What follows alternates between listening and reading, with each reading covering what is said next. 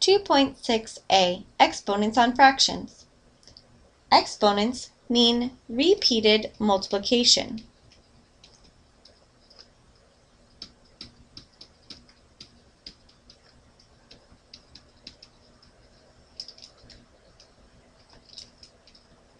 Remember, this is the same as we've seen before when we had things such as 2 squared, which equaled 2 times 2, or x to the third, which equals x times x times x.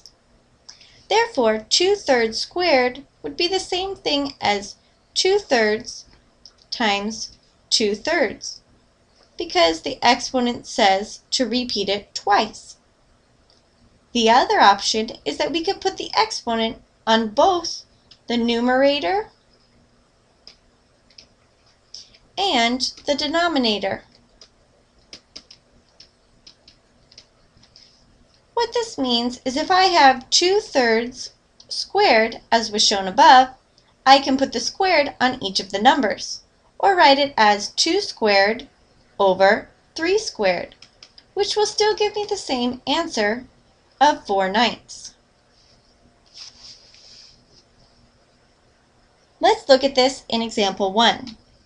Example 1 has 3 halves cubed.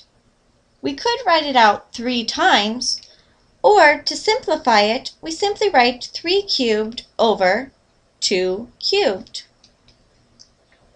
3 cubed is 27 and 2 cubed is 8. Remember, 2 cubed is simply saying 2 times 2 times 2, which would be 4 times 2, which would be 8. Let's look at example 2. 7 squared over 4 squared. This means that we would get 49 over 16.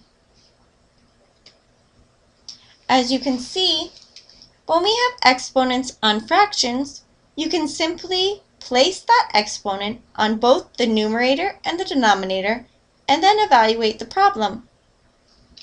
Remember, you could simplify before doing the exponent, if possible.